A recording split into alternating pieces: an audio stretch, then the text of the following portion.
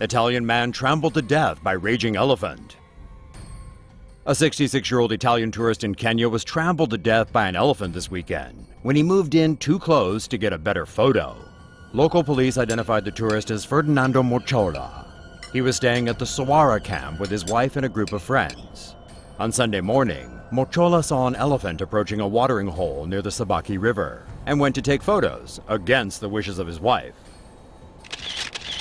Mocciola took pictures of the animals and nature, but somehow unintentionally angered one of the elephants. The enraged elephant charged towards Mocciola, attacked him, and trampled him to death. The area's local police chief said Mocciola may have made the elephants feel threatened, provoking one to charge him. He died at the camp while waiting to be airlifted to a hospital. See a story that really should be animated? Suggest stories to Tomo News now.